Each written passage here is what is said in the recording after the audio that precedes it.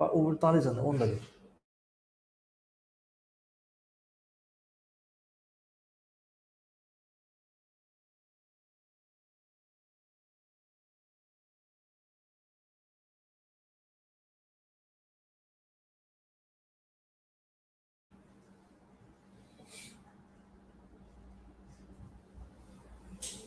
Xoş gördük hörmətli kanal 13 izləyiciləri. Xalqla bir arada proqramının növbəti efir vaxtı ilə sizin qarşınızdayıq. Dəyərli izləyicilərimiz, bu gün daha bir e, maraqlı məsələ haqqında, son illərin e, çox səs-küylü davam edən bir hadisəsi haqqında müzakirə aparacağıq. Studiyamızın qonağı 2019-cu ildə səhv 20-ci ilin yanvar 2019-da Nərmin Quliyeva idi. Bəli, bəli az yaşlı Nərmin Quliyevanın qətlində təqsirli bilinən İlkin Süleymanovun qardaşı Adil Süleymanovdur. Xoş gördük Adil bəy. Təşəkkür edirəm. Çox sağ olun. Siz sağ olun. Adil bəy, girişi çox uzatmadan istəyirəm birbaşa mövzumuza, müzakirəmizə keçid alaq. İlkin bəy məhkəmələri davam edir. Mən istərdim ilk öncə bizə, izləyicilərimizə bu məhkəmə prosesləri haqqında məlumat verəsiniz. Hə, çox sağ olun. Bir daha minnətdaram sizə. İlkinin bəli məhkəmələri davam edir. İlkinin istintaq dövrü təxminən 1 il e, 4 ay çəkdi. 13 ay 13 ay çəkdi, maksimum sonra 4 ay çəkdi. Yəni 1 il 5 ay istintaq dövrü çəkdi. İndi də son artıq ə, e, artıq 11-ci aydır ki, ilkinin məhkəmələri gedir, məhkəməsidir. Və bu məhkəmədə bir çox şahidlər dindirilib. Bir sonrakı məhkəmə də fevral ayının 9-da səhər saat 10:30-a təyin olundu. E, axırıncı məhkəmədə dindirilən ə, Ayxan Quliyev var. O Nərmin Quliyevanı görən şəxsdir. Ona görə biraz onun məhkəməsi geniş olacaq. Vəkillərin tutarlı geniş sualları var, çünki onunla bağlı. O da səhər-səhərə salındı. Adətən 4-də olur, axşam saat 4-də. Bu şəkildə. Ümumiyyətlə bildiyiniz kimi Nərmin Quliyevə bayaq siz dediniz 21 noyabr 2019-cu ildə itkin düşübdü. 6 yanvar 2020-ci e, ildə bizim evin qarşısında təxminən 30-40 metr məsafəsində yanmış halda meyit tapılıb. Bunu da görən ilk görən mənim qardaşım ilkin olubdu və dərhal qonşuları və polisə məlumat verilib və həmin vaxtda həmin vaxtdan qardaşım ilkin tutulubdu və heç bir e, bura, buraxılmayıb, o vaxtdan tutulub. Amma rəsmi sənədlərdə isə güya ilkin ayın 10 yanvardan tutulubdu, belə yazılıb. E, bunun da səbəbi odur ki, dediyimiz kimi ilk vaxtlardan artıq məsələ ilə bağlı biz öz fikirlərimizi və aldığımız e, məlumatları və sübutları qoyurduq ortaya. İlkin 4 gün müddətinə ə, polis şöbəsində qanunsuz saxlanılıb. Həmin günlər, həmin günlər ərzində 8-nə qədər heç bir fiziki təzyiq olmayıb, 8-nə qədər psixoloji təzyiqlər olub, evdən yemək aparılıb, paltar aparılıb olan heç bir verilməyibdi. Amma 8-dən 10-una qədər artıq ilkinə ciddi fiziki işgəncələr verilərək bu cinayət zorla ilkin boynuna qoyulubdu. Fiziki işgəncələrə hər dəfə deyirik və ilkindən aldığımız məlumatda onun soyundurularaq üzərinə soyuq su tökülüb, toka verilibdi, başına dəmir qazan keçirilərək onun başına dəyənəklərlə vurulubdu. Yəni bu şəkildə həm də valideynlərlə təhdid olunub ki, Əgər bu cinayəti sən boynuna almasan, valideynlərinə də eyni cür işgəncə veriləcək və bu şəkildə ilkinə çox ağır şəkildə işgəncə verilir. Son ə, e, baş tutan, mən bilən bir neçə məhkəmə prosesi təxirə salınmışdı, amma son Bəli. baş tutan məhkəmə prosesində ə, e, diqqət çəkən məqamlar hansı ə, e, faktlar, sübutlar haqqında danışdı müdafiəçilər, ittiham tərəf? Ümumiyyətlə indiyə qədər ə, Nərmin Quliyevanın qohumları dindirilir şahid qismində. Ən çox da onun anasının, atasının ziddiyyəti, əmisinin həmçinin Lətif Quliyevin ziddiyyətli ifadələr çox olduğu üçün proses çox uzun çəkdi. Çünki təsəvvür edin, o qədər ziddiyyətli ifadələr verirdilər ki, o qədər. Elə axırıncı dindirmələrdə Lətif Quliyev dindirilib. Orada Aha. ifadələri yəni çox özə bir dəfə yox, 5-6 dəfə eyni epizodu 5-6 dəfə ziddiyyətli ziddiyyət ifadələr deyir. Elə orada ən mənim yadımda qalanlardan biri deyim sizə. Yəni Lətif Quliyevin dediyi məsələdə Nərmin Quliyev olaraq gələrkən ə, hansı ki sənədlərdə Lətif Quliyev yatmış olubdu. Həmin gün ortadan yatıb ta ki axşam saat 5 İlkin istintaq sənədlərində. İlkin ümumiyyətlə istintaq dövründə, Aha. həmin dövrlərdə Aha. bütün hamısında Lətif yatmış kimi qeyd olunub. İndi ə, gün orta saatlarından ə, axşam saat 5-ə 5 radələrinə kimi, amma həmin dövrdə də qız ilkin düşük dövr həmin dövr yatmış dövründə olub. Amma məhkəmə dövründə açığı bizi çox şübhələndirən məsələlər oldu. Çünki mən də ə, qıraqdan o danışıqlarından çox ziddiyyətli ifadələr verdiyini şahid olduq. Məsələn, e, mən orada ifadənin birini deyim. Məni şübhələndirən məsələlərdən biri oldu ki, o dedi ki, məsələn, Nərmin gələndə e, evdə Ruslanla Ayxan telefonla oynayırdı, görmüş kimi danışırdı sanki. Və Nərmin gəldi, həyətə girdi, ə, Ruslan getdi, həyətdəki darvaz qapısını açdı ifadələrində yazır. Qapını açdı, gəldi paltarı verdi, Nərminə verdi, Nərminin əlinə verdi. Sanki görmüş kimi danışır özü. Və mən orada ifadəsində deyir ki, səsləndirilib. Çöldə o birisi oğlum oynayırdı. O birisi onun oğlu var, Ruslan adında oğlu var. Lətif Quliyev böyük oğlu Ruslan adında oğlu var. O birisi oğlu yolda oynayırdı. Yəni bu çox şübhələndirdi. Elə vəkillər də şübhələndirdi, biz də şübhələndirdi, hakim də dəfələrlə sual verdi. Yəni bu epizod sanki gözünün qabağında olmuş kimi danışdı. İndi bəlkə də ifadələri araşdırmaq lazımdır artıq bununla bağlı. Bizim də artıq çox şübhəyə saldı məsələlər. Sonra bundan bir çox ifadələr verdi. Əsas məsələ bu gün başqa istiqamətə toxunmaq istəyirəm mən. Amma anasının ifadələrində də ə, məlum oldu ki, atasının da anasının ifadələrindən onlar ümumiyyətlə ə, qızlar evladlarına baxmayıblar, heç biri baxmayıb. Ə, yəni tapılıb ə, axşamdan tapılıb. Meydə baxış Meydə baxış ümumiyyətlə baxmayıblar. Nə morqda, nə orada, nə valideynlərin heç özləri də etiraf edirlər. Özləri məhkəmədə bəli açıqlayırlar, baxmayıblar heç. Ümumiyyətlə anası Aynura Quliyeva hadisə yerinə gəlmək istəməyib ümumiyyətlə. Çünki ona deyib deyiblər, meyit tapılan vaxtı polis rəisi tərəfindən əmsi əmsə deyir bunu, əmlərin hər ikisi təsdiqlədi. Təsdiqlədi ki, bizə dedilər ki, tapılan Nərmin Quliyevadır.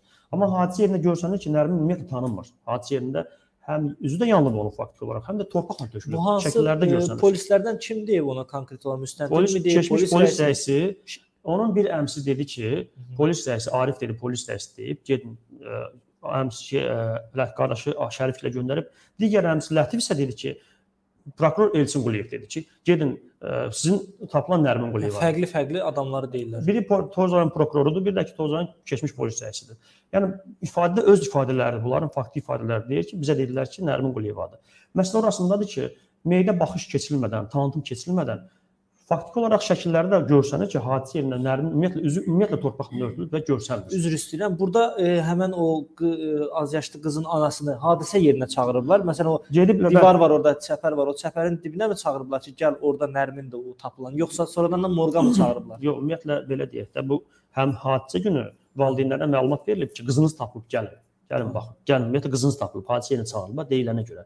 A- Əmsi ortancıl əmsi Arif gedib. O birisi qardaş. Amma Şərif gəlibdi atası, amma Aynurə xanım ümumiyyətlə hadisə yerinə gəlməyib. O hadisədən ümumiyyətlə 200-300 metr başqa yolla qaynatası ilə gedibdi. Yəni ümumiyyətlə gəlib heç bu hadisəyə baxmaq istəmir, qızına belə baxmaq istəmir. Bu ifadələrində də var, məhkəmədə təyin olundu ki, o ümumiyyətlə gəlməyib bura. Şərif isə atası isə heç meydə baxmayıb. Nəyə Yəni- əsas gətirirlər bəs? Vəkillər sual vermirmi? Niyə baxmaq istəmədilər? Dəfələrlə suallar verilib. Bir dəfə dedilər polis qoymayıbdı. Polis yaxın verməyib. Amma düşünün də polislər qoymayıb. Maraqlı orasında da polislər qoymayıbsa, hansı əsasla Nərmin Quliyeva olduğunu tə- təyin ediblər? Onun əynindəki qırmızı kurtka və ayaqqabısına görəmi? Bəli, belə də olubdu. Qırmızı kurtka və ayaqqabısına görə bunun Nərmin Quliyeva olduğunu ə, təsdiqləyiblər ki, Nərmin Quliyevadır. İndi elə deyiblər. Amma əslində isə hadisədən qabaq aldığımız məlumata görə polis rəisi valideynlərinə də yaxınlaşıb ki, qızınız tanınmaz halda olsa hansı əlamətlərlə tanıyarsınız? Onlar qırmızı kurtkası və ayaqqabısının olduğunu, yaşıl ayaqqabısının olduğunu deyib. Bunu məhkəmədə anası da etiraf elədi. Belə bir şey olubdu. Yəni iş orasındadır ki, elə maraqlıdır ki, tapılan meyit də elə eyni cür tapılıb. Qırmızı kurtka və əynində 2 dənə qırmızı kurtka palasası var və yaşıl ayaqqabısı görsənib orada. Meyid var. yanmış formada olur. Meyit də isə ekspertiya yanmır? rəydə deyir ki, tamamilə haqlısınız. Ekspertiya rəyi deyir ki, ekspertiya rəyində var. Meyidin cinsi orqanları kömürləşmiş şəklə qədər yandırılıb. Yəni onun təcavüz olunmasını müəyyən etmək mümkün olmayıb. O qədər o dərəcə yandırılıb. Təsəvvür eləyin. Və biz xarici ekspertlərdən aldığımız rəylərdə isə bundan bağlı biz də artıq xarici mütəxəssislərin müraciət etdiyi oradan rəy də aldıq bir çox. Orada isə deyilir ki, ə, əgər kömürləşmiş şəklə qədər yandırılmış halda bu hala salmaq üçün burada ən azı körpə uşaqlarda 1-2 saat özə palıd ağacının kömürü kimi bir ocaq olmalıdır ki, orada yandırılsın. Neft məhsullarından bunu bu belə bir kömürləşmiş şəkildə qısa müddətdə almaq mümkün deyil. 1-2 saat ən az vaxt lazımdır. Aha. Yəni bu da bu da o deməkdir ki, istintaqın gəldiyi qənaət isə meyidin yandırılma müddəti 5 dəqiqə 40 saniyə olubdur. Bu müddətdə olub. Bu da deməkdir ki, doğrudan da artıq məntiq də bunu deyir. Hələ ekspertin rəyi qalsın bir tərəfdə. Məntiq də deyir ki, 5 dəqiqə 40 saniyə müddətində meyid kömürləşmiş şəklə qədər neft məhsullarından düşə bilərmi, yana bilərmi? Lap yanıbsa belə o e, gödəkçəsi və ayaqqabısı necə yandı? Tamamilə o haqlısınız. Yəni o dərəcədə yüksək şəkildə hərarət olubsa, yüksək şəkildə istilik olubsa, əynindəki sintetik kurtka olub. Əgər belə deyil, sintetik kurtka niyə yanmayıb onda? Maraqlı burasında. Demək belə bəli, Cakət cəmaətə deyir ki, meyit yandırılır, orada meyitin yanan vaxtı heç bir iyi gəlməyib. Heç bir iyi olmayıb orada. Yaxşı orada belə çıxır ki, onda məntiq də deyir və ekspertin rəyi də deyir ki, artıq bəli, belə bir hal baş verir. Deməli 5 dəqiqə 40 saniyə müddətində istintaq belə qənaət gəlibsə, meyit orada yandırılmayıb. Meyit başqa yerdə yandırılıb və təkrar gətirilib orada yandırılıb. Fakt ki, kömürləşmiş şəklə qədər düşmüş halda orada olsaydı, o kurtka əriyərdi. Və qızın da Nərmin Quliyev olmasının ə, sübutu kimi kurtka və ayaqqabı götürülür və həmin də videolarında da görsənilir. Ə, orada bir çox ə, jurnalistlərin də YouTube kanallarında var. Orada səhərsi gün hələ meyit götürülməmişdən qabaq mağar qurulması haqqında artıq yolla daşınır. Yəni bunlar artıq hazırlaşırlar bununla bağlı. İş orasında DNK testi aparılmayıb həmin dövrdə və valideynlərə tanıtım olunmayıbdı. Sonra isə aradan biz bu məsələni qaldırdıq, problemlər üzə çıxdıqsa, fevral ayının 21-də bunları Bakı şəhərinə çağırıblar, qızın valideynlərini və onlar DNK testi götürüblər. Aradan artıq 50 gündən çox keçdiyi halda. Aha. Belə olan halda və ortaya belə bir sual çıxır. məclisi də baş tutub. Bəli, 40 da keçib hətta bizim indi 40 məclis verildi. O da 5 keçirilib. Bütün bütün ölkə, respublika, ictimaiyyət hamı ora gedibdi. Hamı çox ağırlı olaraq bu məsələni yanaşıbdı. Belə olan halda doğrudan da mənə bir sual maraqlıdır. Həqiqətən də Nərmin Quliyev olmasaydı DNK testində bunu deyəcəklərmi? Axı ə, cənab prezident də 3 günə öhdəlik götürmüş, 3 günə tapşırıq vermişdi, 3 gün müddətinə ə, əsl cinayətkar tapılsın. Cənab prezidentə məlumat verilib kimlərsə tərəfindən. Belə olan halda kimlərsə böyük bir məsuliyyət daşıyır. Çox böyük məsuliyyət daşıyır. Buna görə də çünki ekspert dövlət rəyləri strukturlarının bö böhranına gedə bilər ki, məsələn dövlət başçısına belə e, Yalan faktlar olmamış yalan aparıb deyiblər. Bə- İndi də görünür ki, məhkəmə prosesindən də görünür ki, e, düz düzəldə bilmirlər. El dilində desə düz qoş eləyə bilmirlər. Mən inanıram ki, uca Allah bunlara imkan verməyəcək. Necə ki, indiyə kimi biz bəzi məlumatları artıq eşitdik, bir çoxların başları artıq sıxıntılardadır. Əminəm ki, bunlar seçim olaraq ilkin üzərində oyun qruplar və bu oyun qurduqları üçün öz oyunları in- inşallah uca Allah onların öz başlarına açacaq və özləri dərin bir quyuya düşəcəklər inşallah. Hadisələr də onu göstərir. Məhkəmədə də proseslər bu günə kimi məhkəmə gedişatı ilə bağlı ilk məhkəmələr nəzərə almasaq, məhkəmələr ə, tam olaraq düşünürəm ki, biz düşünürəm normal gedir. İndi sonrasında olacaq Allaha təvəkkül normal gedir. Bəli, tam haqlısınız. Burada belə ortaya belə çıxan məqam odur ki, vaxtilə cənab prezident bu tapşırıq verdiyindən sonra cənab prezident biz də düşünürük aldadıblar. İndi bu məsələnin altından çıxa bilmirlər. Çünki bir çox faktlar var, indi sadalayacağım bu faktları. Bu işi düşünürük ki, polis rəisinin təşkilatından qurulub, kimlər sonra tapşırığını verib, necə olub onun təşkilatından qurulub və meyidin ora atılmasının da polis rəisinin xəbəri olubdu, düşünürük və hadisələr də onu göstərir, araşdırmalar da onu göstərir və bu gün də artıq məsələ məsələn qız meyidin ə, o meyid olmamasıyla bağlı bizim ehtimallarımız çoxdur. Biz demirik 100% o deyil. Biz Amma bilsək... sübutlar kimi tə təqdim olunub ki, orada qan qrupudur, e, meyidin Baxın, yəni Sadalim ölçüləridir, Bəli. hündür boyunun hündürlüyüdür. Yəni Sadalim. Təsəvvür edin ki, kənd cəmaəti dedi ki, ilk dəfə meyit tapılarkən. Yəni bu meyit, bu meyit bütün kənd cəmaəti deyir, meyit o meyit oxşamırdı, böyük idi. Meyitdən iyi gəlməməyi və bu prosesin oyun olduğunu düşündük ki, artıq hə, burada nəsə qaranlıq məqamlar var. Daha sonra isə məlum oldu istintaq materiallarında vəkillər də müəyyənlədi ki, həmin dövrdə mart-aprel ayları idi, ekspertiza yekunlaşmaq üzrə idi. Onda məlum oldu ki, meyidin ölçüləri istintaq materialının içində verilməyib. Tapılan meyidin ölçüsü verilməyib. Çox təəccüblü oldu bizə.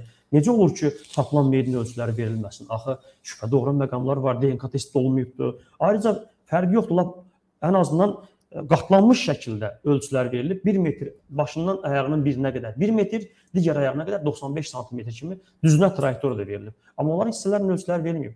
Alındığımız məlumata görə də istintaqın araşdırmasında kənd cəmiyyətində valideynlərin dediyinə görə meyidin qızın ölçüsü 1 metr 20 sm civarında olubdu. Amma istintaq materialları bu ölçünü vermədiyi üçün və qatlanmış şəkildə bu 1 metr olduğu üçün bizi çox şübhəyə saldı. Və biz başladıq araşdırma aparmağa, meyidin 3 yerdə ölçülərini proqram vasitəsilə çıxartmağa və ola bilər biz də səhv eləyə bilərdik. Amma çıxartdıq, biz araşdırdıq, 1 metr 42 sm-dən yüksək çıxdı hər üçü. Və biz bunu çox narahat elədik. Doğrudan da 1 metr 1 metr 42 sm-dən yüksək çıxdı. Aha. Hər üç variantda. qatlanmış vəziyyətdəmi yoxsa Artıq artıq orada proqram ə, hissələrlə verir ki, şəkildən o meyidin olduğu bir proqram var, AutoCAD proqramı bilənlər bilir, yəni tikintilərdə böyük artıq bu ölçülərlə o ölçü verir ölçü verilib baxdıq ki, doğrudan da bu artıq 3 dənə sənədləri də var onun hazır hazırlanmış sənədləri. Bəlkə doğrudan biz mütəxəssislər onu səhv eləyibdi, amma bu araşdırmalı idi. Araşdırmalı idi. Sonra isə meyidin ölçüsünün verilməməsi, ölçülərin böyük çıxması, sonra ə, dəfn olunan zaman o qəbirstanlıqda onun şəkli var, dəfn mərasimində çətinliklə qəbirsan dəfn qəbirstanlığa salınır. Həm də də- qəbirstanlığın içi də 4 mişar daşı 40 sm-dən gördük ki, ölçüsü də artıq 1 metr 60 sm içinin ölçüsü. Və bunlar çox bizi şübhəyə saldı. Biz bununla bağlı artıq ə, vəkillərimizlə müraciət etdik, istintaq dövründə istintaq istintaq, istintaq aparan mütəxəssislərə müraciət etdik. Bundan biri heç bir cavab bizə gəlmədi. Heç bir cavab gəlmədi. Sadəcə 40 gündən sonra dediyim kimi 50 gündən sonra 40-50 gündən sonra DNK testi olundu. Bu da bizə artıq inandırıcı gəlmir. Yenə deyirəm, artıq bu məsələni bayaq təkrarladıq. Niyə inan- inandırıcı gəlmir? Sonra isə indi sonra məlum olur ki, indi isə ekspert rəyində. Təsəvvür edin, qızın valideynləri deyir, qızın itərkən iki dişi olmayıb, altında bir dişi, üstündə bir dişi. Amma ekspert rəyində tapılmış meyidin bir dişinin olmadığı qeyd olunur. Bu da bizi çox şübhəyə saldı. Necə ola bilər ki, bir dişi olmur, amma valideynlər deyir iki dişi yoxdur. Daha sonra isə istintaq materialı yekunlaşandan sonra biz onun şəxsiyyət vəsiqəsində ikincisində baxdıq ki, bunun qan qrupu 4-cü qrup olub, Nərminin qan qrupu. Amma bizə çox daha da daha da şübhəmiz artdı. Biz e, Gəncədəki vəkilimiz vasitəsilə o rayon tibb məntəqəsindən və e, kənd tibb məntəqəsindən bunun e, Nərmin Quliyevə məxsus olan kartişkanı aldıqda məlum oldu ki, doğrudan da orada da 4-cü qrup qan qrupu göstərilir. Və biz də bunu yenə daha ya- yaxşı şəxsiyyət vəsiqəsində səhv göstərilib, kənd tibb məntəqəsində səhv göstərilib, rayon tibb məntəqəsində xəstəxanasında Böyük polisiyasında səhv göstərilibsə, bu necə ola bilər? Deməli burada 3-dən 4 dənə qurum var da burada. Qurumların hansısa biri hansısa biri yanlışlıq eləyir.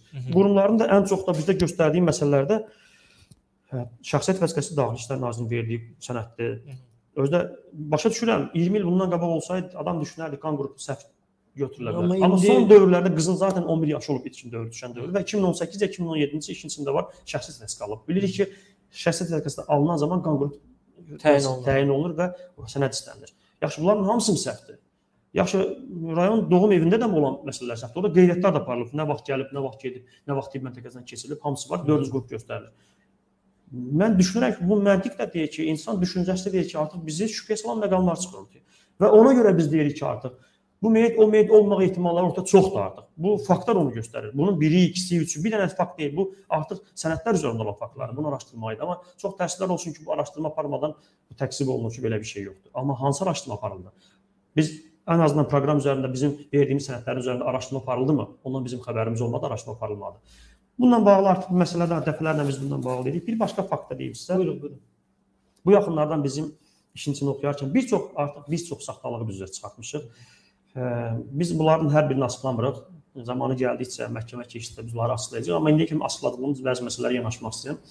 Məsələn, baxın, ilkin tutularkən ayın ə, 6-sı rəsmi olaraq tutulubdu. Ayın 10-unda isə sənəd üzərində qeyd olunub ki, guya 10-unda ilkin ə, istintaqa cəlb olunub və orada bu cinayəti səmimi şəkildə etdiyini etiraf edib. Aha. Belə olan halda belə bir sual çıxır. İşgəncə işgəncə faktından söhbət gedə bilməz deyirlər burada. Belə olan halda belə bir sual çıxır. Necə olur ki, onda ilkindən ilkinin verdiyi ifadələr əgər səmimi şəkildə bu cinayəti etiraf eləmişsə, heç bir dedikləri ekspert rəylərinin heç bir üstə düşmür. Necə olur bu? Yəni bunu ilkindən aldığı ifadələrdə yazılı qeyd olunur ki, orada ilkin həmin günü başına bir dənə daş vuraraq öldürüb və ə, meşuğa salınıb aparıb yandırılıb. Bu şəkildə yandırıb. Amma istinaq materiallarında ekspert rəyi deyir ki, meyit ən az 3-4 gün qabaq öldürülüb və başına dəyən kəsici və deşici alətlərin nəticəsində öldürülüb. Olan üstə Yəni düşmür. e, Belə kütləlik üç-dörd- deyil də, yəni belə 3-4 3 tapılmamışdan 3-4 gün qabaq ekspert rəyi bunu deyir. Ekspert rəyi deyir meyitdə çürümə əlamətləri olubdur. Yaxşı, belə olan halda axı bu üstə düşmür deməli bunlar çox yaxşı bilirlər ki, bu işin tezbaza bağlayaraq istədikləri kimi nəticə alacaqlarını düşünüblər. Ayrıca bir fakt da deyim sizə. Yaxşı, ilkin demişdisə, bu cinayəti səmimi deyirsə, bunun kurtkası adi bir detal olacaq. Əgər bu cinayət ilkin tərəfindən törədilmişdisə və ilkin bunu etiraf eləmişdisə, onda bunun kurtkası var, sırğası var. Yəni bunun bütün proseslər üstə düşməli. Niyə üstə düşmür? Niyə kurtkası haqqında tali məlum deyil? Araşdırma ondan aparılmayıb. Bunların hamısı ciddi faktlar ortaya qoyulur. Demək ki, bu cinayəti araşdıranlar da bilib ki, bu cinayətlə bağlı ilkindən heç nə, ilkin günah yoxdur. Faktikə bir məsələni dəyişdi. Aldığımız məlumatlara görə işi aparan baş müstəntiq e, Nadir Mirzəyev ilk vaxtlar ilkinin həbs olunmasına bağlı qərar verilərkən o ilkin həbs etmək istəməyib. Aha. Və- səbəbə? Məlumat almışıq ki, bəli, içinə Nadir Mirzəyevə də məlumat verilib ki, tut onu. O da deyib ki, ilkinin tutmaq üçün əsaslar yoxdur ortada. Və bizim aldığımız məlumatlara görə o vaxtda həmin dövrdə baş müstəntiq olub və Zakir Qaralov tərəfindən keçmiş prokuror Zakir tərəfindən məlumat tapşırılıb ki, əgər ilkin tutmasan sən özün həbs olunacaqsan. Müstən. Bizim aldığımız məlumatlar bu. Bizim. Baş prokurorluğun Bunu bütün marağı nədir? Məsələ orasındadır. Baş gəlin müstəntiqə təhdid eləyir, günahsız yerə insanı həbs eləyir, Gəlin baş prokurorluq prosessual pozuntulara yol verir, sübutları düzgün dəyərləndirmir. Bütün e, necə deyirlər, prosessual prosessual qaydaları pozub belə görür. Bəli. Demək burada bir məsələ ortaya çıxır. Baş prokurorluq ya bir cinayətkarları çox yaxşı tanıyır, ya da ki kimlər tərəfindənsə sifariş alıb bu cinayətin ilkin üzərində qalınması üçün artıq saxta işlər görür. Bunun da sübutların bir sübutunu da deyim. Fakt sübutu. Artıq bu cinayət işində baş vermiş bir sübutdur. E, Demək ilkinin e, həbsindən sonra apellyasiya məhkəməsinə verildi, tərəfimizdən apellyasiya məhkəməsi verildi 23 yanvar. Yəni 2020-ci il ilkin həbsinin 6 yanvar tutulub, təxminən 27 17 gün sonra ilkin apellyasiya məhkəməsi oldu. Və apellyasiya məhkəməsinə qədər də heç bir vəkillərlə, heç ümumiyyətlə biz mən özüm 7 aydan sonra ilk görüşüm mən olmuşam 7 aydan sonra, 7-8 aydan sonra görüşmüşəm. Səbinə xanım Əliyeva Ombudsman vasitəsilə sağ olsun onun dəstəyi ilə görüşmüşük. Amma vəkillərimizin ilk görüşü 23 apellyasiya məhkəməsi günü Sabunçu məhkəməsində məhkəmə zalında görüş olub. İlk görüşlər həmin vaxt olub.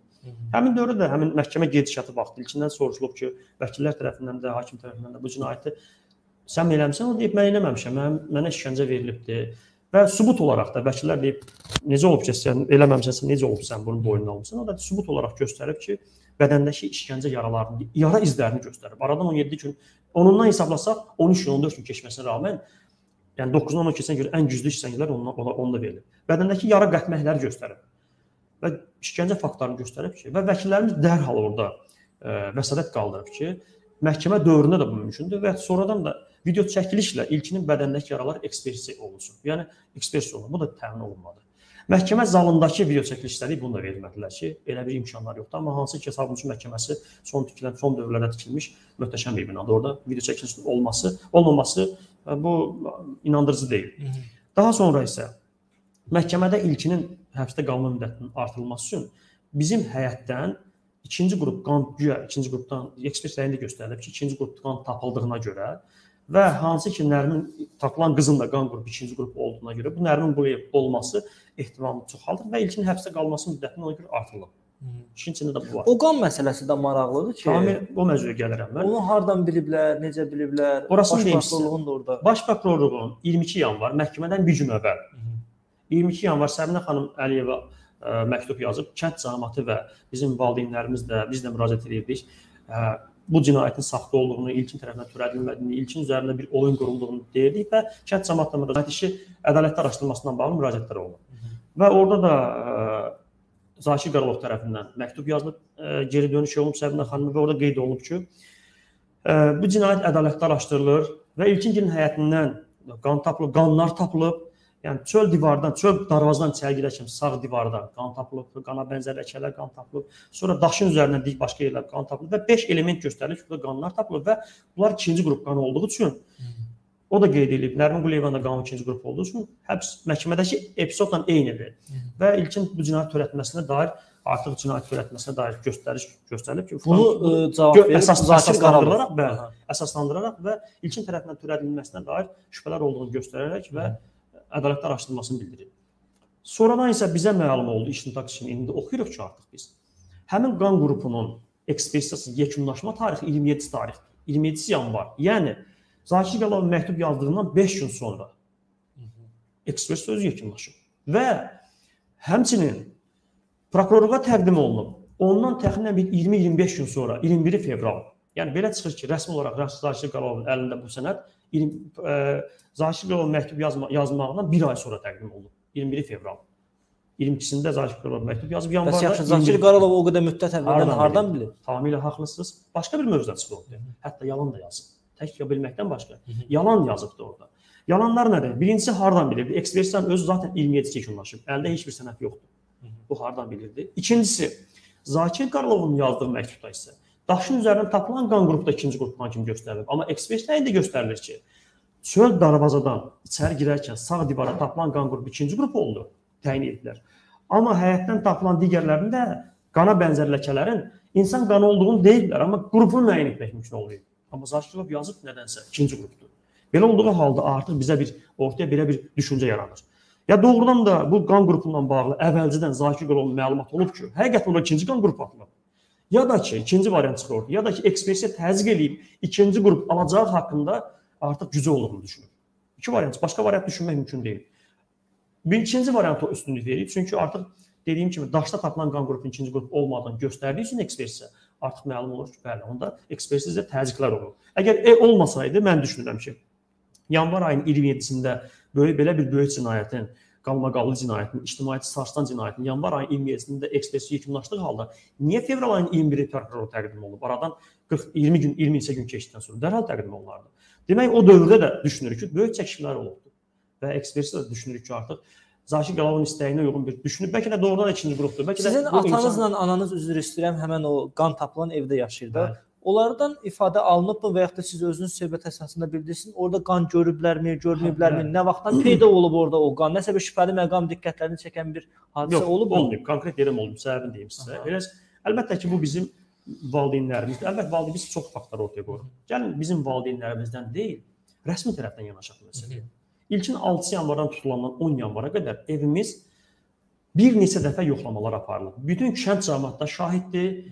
Qardaşım, ortancıl qardaşım şahid kimi kənd cəmiyyətinin hal şahidləri də var, ortada rəsmi sənəd də var, amma qeyri-rəsmi olaraq dəfələrlə yoxlanılıb. 8 yanvarda 8 yanvarda hal şahid də var və bir neçə insanlar tərəfindən, dövlət polislər tərəfindən, müstəntiqlər tərəfindən evimiz rəsmi yoxlanılıb, rəsmi protokol da var.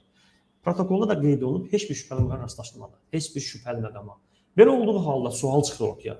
Necə olur ki, sizin qan tapmamışdan 2 gün əvvəl rəsmi protokol da var. Heç bir şübhəli məqamlara rastlaşmadığı halda necə olur ki, 2 gün sonra ilkinə fiziki işgəncələr verilir. Ayın 10-u günü ilkinin boynuna zorla bu cinayət qoyulur və 9-undan 10-una keçən gecə keçmiş polis rəisi Şəcəl Əsgərov qeyri-qanuni bizim evimizə soxulur gizli şəkildə, gecə saat 4-də Aha. Və həmin Nərmin saxlanılan deyilən otağa girir və sabahsı gün isə bu qana bənzər ləkələr tapılır və gözlə görünən yerdə Və şəxsən özün. özü şəxsən şahidlər də var, şahid də var, evimizə girdiyini sübut edən təsdiqli zənglər də var. Amma o, döv o həmin dövrdə polis ona zəng edib, onun o gün tələb ora giribdi. Ya bir sual çıxdı ortaya. Rəis qeyri-qanuni görüb həmin otağa. Digər tərəfdən necə olur ki, Üzr istəyirəm, çox üzr istəyirəm. Bu prokurorluq axı ora blom deyirlər. də, Ona yapışdırmalıdır axı ora ki, heç kim girməsin, başa pozulmasın. düşdüm. Burada məsələ burasındadır ki, bunlar rəsmi olaraq ilkini ondan sonra qeyd edirlər. Hə, Bunlar qeyri-rəsmi artıq 9-dan keçən gecə ilkinə fiziki işgəncələr şöbədə verildiyi vaxt, eyni anda da həmin gecə vaxtı evimizə qeyri- qeyri-qanuni girilir. Və səhərsi gün isə gözlə görünən yer. Biri var, ola bilsin də insandır. İnsan gözlə yayına bilər. Arxa arxa yerdə olar, künc yerdə olar. Amma çöldən içəri girilən istə sağ divarda. Elə bir sanki çöl divardan orada atlana bilər, doğrudan atlana bilər və yaxud da yalan bu artıq saxta ola bilər. Necə ola bilər? Əgər həqiqətən qan tapılıbsa, həqiqətən elədirsə, deməli bu atılıbdır. Çünki istintaq necə ola bilər? İstintaq kənd cəmiyyəti hamı orada olur, evimiz və rəsmi sənəd də 8 sənəd var. Çöl divardan içəri girənsə, orada qan ləkəsi görsən görünmədi bunda. Yəni 4 gündə və yaxud da rəsmi protokol günü 8 günü, yanvar 8 günü görsənmədi. 10 günü fiziki işgəncələrdən sonra rəisin gecə evinizə girib çıxandan sonra gördəndə, görsəndi. Bəli, bu da haqlı sualdır ki, bu yəni 4 gündə də görünmədi. Rəsmi protokollar bunların hamısı qeyd olunub ki, heç bir şübhəli məqama rastlaşmadı. Bir bax bunun özü də çox ciddi faktdır ki, Zakir Qaralov həqiqətən də hardan bilirdi ki, 5 gün qabaq, Bəli. rəy çıxmamışdan qabaq Qrup ikinci qrup. ikinci qrup olacaq bəli. Biz əslində bunu çox oturub analiz edirik ki, doğrudan da düşünürük ki, bu qız o qız olmaya bilər. Çünki bu boyda saxtalığın içində həqiqətən də belə bir şey olsaydı Nərmin Quliyevanın tükündən, saçından evə atardılar. Niyə məs üzr istəyirəm, niyə məs düşünürsüz ki, ə, nə- əlbəttə faktlar, sübutlar gətirirsiniz, amma o meyid niyə o olmamalıdır? Yəni Nərmin. Quliyevanın özü harda olmalıdır? Yəni Belə bir- ehtimal belə- varmı? bəli, belə niyə gizlədirlər ki, belə əgər sağdırsa da, ölübsə də, Allah rəhmət eləsin, niyə gizlədilmək istəsinlər ki onlar? Belə bir məsələ çıxdı ortaya. Deməli burada bu işi quran ə, kimlərdirsə, bura kimlər atılan kimlərsə, deməli Nərmin həqiqi taliyindən əgər doğrudan o qız deyilsə, Nərmin taliyindən bəllidir ki, başqa qız atırlar ora. Bəllidir ki, əgər Nərmin Quliyeva deyilsə o. Biz demirik, yenə deyirəm, həqiqətən də biz bilsəydik belə bir şey o deyil. Onda biz doğrudan durmadan bu məsələni çox iddialı şəkildə məsələni çox böyüdərdik. Çünki biz aldığımız, biz rəsmi araşdırdığımız və aldığımız sənədlər üzrə gedirik. Ya biz artıq kənd cəmiyyətinin dedikləri əvvəl bizə deyilən məlumatların əsasında araşdırma apardıq. Araşdırmamızın nəticəsi artıq sənədlərlədir. Ölçülər araşdırılsın, doğrudan səhv ölçülür, düz ölçülür. Qan qrupu. Meydin ekspertiz rəyinin içində ölçünün verilməməsi. Meydin dişinin valideynlərin dedikləri kimi olmayan dişlərin fərqli olması. Bunların hamısı sizi şübhəyə salmırmı? Hamı şübhəyə salır. Mən şəxsən bu ciddi şübhəyə salır. Yenə deyirəm, bunlar araşdırılmalı idi. Həmçinin valideynlərinə hadisə günü ümumiyyətlə valideynlərinə valideynlər dediyi kimidirsə, həqiqətən də polis onlara imkan verməyib bura bax, uşağa baxmağa. Demək doğrudan da polis ora etmirə düşməni daha da artırır. Əgər imkan veribsə özləri niyə baxmayıb? Burada bir məsələ var. Nədən xəcalət çəkib, nədən belə deyim, çox narahat olub uşaqlarına baxmaq istəməyib? Yox, polis imkan verməyibsə, niyə imkan verməyib? Bu da şübhələr artırır. Nəyə görə imkan vermir? Nədən narahat olub polis valideynlərin tanıtım üçün imkan vermir? Evladına. Və bu şübhələr hamısı şübhə kimi ortaya çıxır. Bir çox faktor var. Mən sadəcə olaraq vaxt olaraq, vaxt məhdudiyyətinə görə bir məsələyə toxunmaq istəyirəm. Baxın, buyurun, buyurun. Hadisənin bir saxtalığına bağlı polis rəisinin oyunları ilə bağlı sizə bir məsələni deyim. Demək 2020-ci ilin ə, iyun ayının 7-si günü idi. Video kameradan xatırladım, orada bayaq sizə göndər göndərdim. Yəni görüntüləri. Demək məsələ nə cürdür? Mən sizə bir şifahi mən onu sizə deyim əvvəl, sonra onu göstərərik. Deməli, mən ə, mənə vəkil tərəfindən zəng gəldi ki, vəkilimiz Əlbum müəllim tərəfindən zəng gəldi ki, Adil sizin evin qarşısında hə, siz böyük dava yaratmısınız. Siz bizim tərəfdən, bizim bizim valideynlərimiz tərəfindən böyük dava yaradılıb və dövlət əleyhinə eyni bu cürə deyir. Dövlət əleyhinə çıxışlar edirsiniz. Bu şəkildə dedim, Əlbum müəllim belə bir şey yoxdur. Zaten həmin dövrlərdə bizə də çox yerdən deyirlər ki, əşi, hər dövlətin əleyhinə danışın, dövlət haqqında belə danışın. Bizə deyir qardaş, bu dövlətin problemi yoxdur, burada məmur problemi var. Burada faktın məmur saxtakarlığı var. Dövlətin marağı nədir ki, ilkin tutsun? Şəxsən dövlətin adından danışmırıq. Dövlətin marağı yoxdur. Burada məmurun problemi var. Və biz də bu yöndə istiqamətdə daim istəyirlər ki, bu barədə biz bizi konkret o dövlətin istəməyən şəxslər kimi çıxarırlar. Bu gün qələmə də verirlər. Bir, bir ara YouTube-da da rəylərdə bəzi şəxs insanlar var ki, onlar bu cinayətlə xəbər olan insanlar var ki, bunlar görsənir orada. Kim düşünürsüz ki, sizi belə yönləndirmək istəyirdilər? Mən faktı deyim, sübut deyim. Baxın. Elə birbaşa bura polis səhiyəsində barmaq olun, sizə sübutunu deyim sizə. Və mən dedim ki, belə bir şey mümkün deyil. Yoxdur olsa mənə deyərdilər. Sonra bir 5 dəqiqədən sonra Əlman müəllim yenə zəng elədi ki, Adil, sizin bəlkə xəbərləri verdi efirə. Sizin bəlkə xəbəriniz yoxdur. Ə, sizin evin qabağında dava gedir. Dedim Əlman müəllim, belə bir şey yoxdur. Qoy mən zəng edim soruşum. Mən zəng elədim, soruşdum. Dedilər elə bir şey yoxdur. Əlman müəllim də zəng elədi ki, üçüncü dəfə zəng elədi, mənə artıq doğrudan da heyrətlənmiş şəkildə zəng elədi ki, mən güya sanki Əlman müəllimi aldadıram və Əlman müəllim deyəsən sən mənə yalan danışdın, ora doğrudan dava gedir. Bax görürsüz polis maşınları saxlayın, deyir, bax o şəkildə saxlayın. Və sizin evin qabağına dava gedir. Dedim Əlman müəllim, belə bir şey mümkün deyil. Mən zəng elədim, bayaq da soruşdum və zəng elədim qohumlarımıza oradan ondan sonra dedim bizim evin qabağının videosunu çək göndər ki, sübutla. Öz danışan danış çək ki, bax bizim evin qabağıdır. Burada dava getmir. Bəlkə kəndin mərkəzində çək. Bəlkə doğrudan bizim xəbərimiz yox, başqa bir dava gedir. Elə bilirlər biz tərəfindən olur. Həmin oğlu bir yarım saat müddətində kəndin mərkəzində evimizin qabağında çəkdi yarım saat müddətində bizə göndərdi. Yarım saat təxminən bu şəxs yarım saat çəkdi. Və bizə göndərdi ki, mənə adil belə bir şey yoxdur. Mən də əlbum müəllimə göndərdim. Və göndərdim dedim əlbum müəllim, bax bu da sübutu. Təxminən o hadisə həmin ə, video çəkilişi 15 15 radələr var, saat 3 radələrində. Dedim müəllim müəllim bunu sizə kim deyib ki, bizim evin qabağına dava gedir? Dedi ki, Nadir müəllim Mirzəyev. Yəni istintaqın yenə bayaq həmin qrup rəhbəri. Özü o da heyrətlənib, o da inandırıcı, o, o da inanıb ki, doğrudan dava gedir. Dedi, yox artıq bu saxtalıqdır, bu da bir təxribatdır, nədirsə, bu nədirsə bizə şər atırlar. Belə bir şey yoxdur. Belə bir dava yoxdur. Təsəvvür eləyin ki, burasını da deyim sizə, hadisədən sonra bizim gördüyümüz məqamlara görə, bizim başımıza gələn bu oyunlara görə dəfələrlə evimizə təzyiq olundu. Valideynlərimiz özünə dəfələrlə atama da, anama da fiziki təzyiqlər edirdilər. Hətta qorxu gəlirdilər dəfələrlə. Və hətta deyirlər ki, sizin oğlunuz elə bir hadisə törədib deyiləsi mümkündür. Təcavüz faktına görə Allah şahid dəfələrlə bunu valideynlərimizə deyirlər bunu. Və biz də digər məlumatlar da aldıq, yenə saxtalıq etmək istəyirlər. Aldığımız məlumata görə Nərmin Quliyevan sırğasını polis tərəfindən tapılıb və bizim həyata atmaq planı var imiş. Belə bir məlumat aldıq. Və biz də qərara gəldik kamera qoyaq. Təhlükəsizlik. Təhlükəsizlik kamera qoyaq. Artıq onu o 8 dənə kamera yerləşdirdik və o kameranın biri də küçə küçə küçədə oldu. Hı -hı. Və gördüyünüz kimi necə olursa mənə gələn zəngdən 2 saat sonra orada saat var. 16:42-də saat göstərilib. Deməli bizim evin qabağına gördüyünüz kimi. Orada yaşıl maşın var, Niva görürsüz, o da polisin maşınıdır. Bəli. Burada o bəli, yaşıl maşın, bəli, yaşıl mülki maşın, mülki maşından polis maşınıdır. O gəlir sonra əvvəl. Sonra da arxasında ə, post patrul xidmətinin maşını gəlir. Gördüyünüz kimi orada var. Baxın görəcəksiniz. Və gəlir həmin hadisədən 2 saat sonra bizə gələn məlumatdan sonra.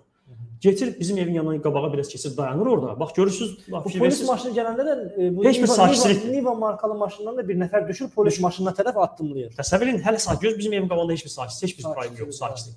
Polis maşını keçir o tərəfə. Baxın, aradan bir 2 dəqiqədən sonra Artıq qızın valideynləri bizim üzümüzə hücum keçirlər. Burada görüntülərdə vardı. Var görüntüləri görəcəksiniz. Bax polis maşını keçid dayanıb görürsüz. Bəli. Bir müddətdən sonra görəcəksiniz gəlirlər. Yaxşı, belə bir sual çıxır ortaya. Belə olan halda 2 saatdan sonra bizim evin qabağında onların bizə hücum çəkəcəyini hardan bilə bilərdilər? Bu bir təşkilatçılıq deyilmi? Bu bir təxribat deyilmi? Özdə yanvar ayı, yanvar ayında ilkin tutulub. Aradan 7 ay keçəndən sonra. Bax görəcəksiniz hadisəni. Və özə çox laqeyd şəkildə polislərin davranışını görürsünüz, sanki onlara tapşırıq verilib ki, çox da müdaxilə eləməyin. Bu gələn adamlar bunlardır. Artıq bəli, orada görəcəksiniz artıq birazdan dava. O polis hardan bilirdi ki, bizim evin qabağına dava olacaq? Gəlib keçiblərdə 2 saat əvvəldən də sizə bu barədə məlumat verir. Bununla bağlı bizim əlimizdə sübutlar var. WhatsApp-da həmin tarixin saatları da var. Əmr oğlunun mənə çəkdiyi videonun saatları da var ki, bax saat 3 radələrində adil burada bir dava yoxdur, görürsüz. Və bu gün müstəntiq də var, faktik, vəkil də var. Bunlar insan faktorundan başqa həmçinin də saatlarla WhatsApp üzərində saatlarla videonun göndərilmə saatlar tarixləri var. Ondan 2 saat qabaq.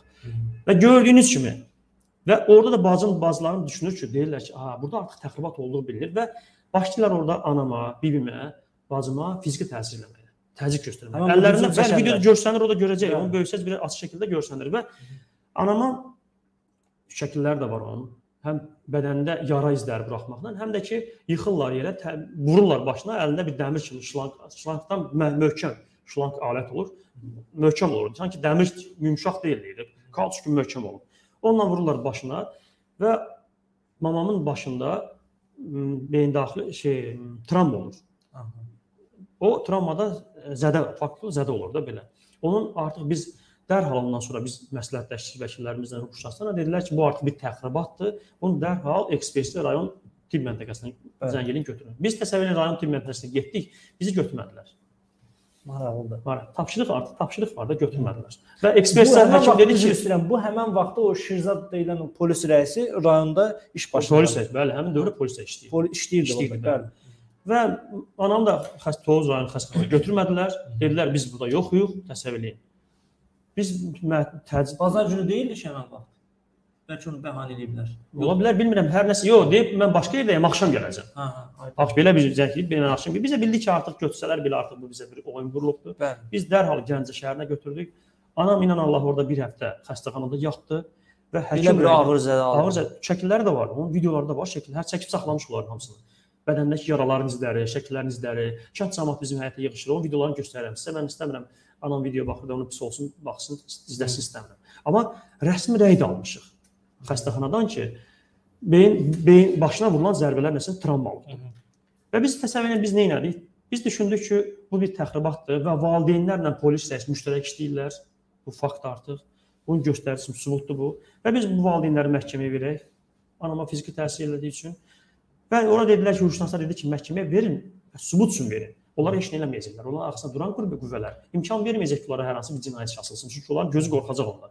Onlara imkan verməyəcəklər. Və doğrudan da belə də oldu. Biz onu məhkəməyə verdik. Məhkəmə təyin olundu ki, burada heç bir ə, s- yəni cinayət işi yoxdur.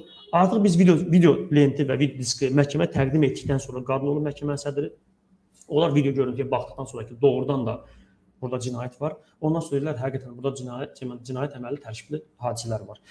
Güya təzədən cinayət işi açılacaq, araşdırılacaq. Siz təsəvvür edin 2020-ci ilin Hələ də bir söhbət Hələ yox. də o söhbət elə açıq qalıb cinayət işi. Bir il yarım heç baxan da yoxdur, eləyən də yoxdur. Yəni bunların hamısı doğrudan bizim düşündüyümüz artıq faktları qoruduq ya. Bu cinayət işindən valideynlərinin xəbəri olduğu faktları göstərir. Heç bir valideyn istəməz ki, bəli, qızı bu hala düşsün. Amma düşünürük ki, biz valideynlərin bu cinayətlə bir hər hansı uzaqdan və yaxından əlaqəsi var düşünürük. Əks halda niyə polis rəisindən bu saxtalığa getsin? Əks halda niyə valideynlər yalan ifadələr versin? Ziddiyyət ifadələr verilir. Bu gün əslində sözün həqiqi mənasında xüsusi xidmət orqanlarından xahiş edirəm. Elə bütün YouTube kanallarında İlkin və Nərminlə bağlı hansı videolar gəlirsə, onun altında rəylər var. Bir iki nəfər Bəli. var ki, bu cinayətlə bağlı məlumatlı olduğunu düşünürük və istəyirlər ki, daimi təkidlə bu cinayət ilkin üzərində qalsın. Hansı ki, Tanıyırsınız o rəy yazan adamları. Bəli, bir məsələ İslamzadə 100 var. Mən düşünürəm ist- istinaq orqanları onu araşdırsa çox yaxşı olar. Mən demirəm ya, mən hər amma onun yazdığı rəylər məndə yan ilkin tutulandan günə qədər yazır. Və deyir heç bir yaxından uzaqdan mənim heç bir əlaqəm yoxdur. Ya əlaqə yoxdursa, yalan məlumatlar yayır. Yəni məsələn mənim xatırladığım qədər qan qrupundan bağlı o vaxt yazmışdım, amma bunun heç mənim də xəbərim yoxdur ondan bağlı. O hardan bilirdi? Varmı o skrinlər eləmisiniz? Hamısını saxlamışıq bəli. Skrinlər vəkillər. Təqdim eləmisinizmi məhkəməyə? Artıq biz təqdim məhkəməyə məhkəməyə deyil, təqdim eləyəcəyik. Məhkəməyə deyil. İstintaqa həmin dövrdə o qədər biz ə, sübutlar verdik ki, o sübutlar saxtalaşdırıldı və əks istiqamətə yönləndirildi və biz ondan başa düşdük ki, istintaq bu cinayətin üstünü açmaq niyyətində deyil, əslində gizlətmək niyyətindədir. Məsələn biz məsələn deyim sizə, bu cinayətin başqaları tərəfindən törədilməsinə dair şahidlər çıxdı ortaya. Və biz o şahidi 3 dənə, 4 dənə şahidi məhkəməyə istintaqa təqdim elədik. O şahidlər Başqaları tərəfindən törətməsi haqqında. bəli, Harda görüblər, necə görüblər? Məsələn çox biz qabartmırıq, həmin şahidlər istəmirik bilinsin. Amma istintaqa verdik bu şahidləri. Çünki istintaq da həmin dövrə deyirdi bizə kömək eləyin, bu cinayət üçün açaq.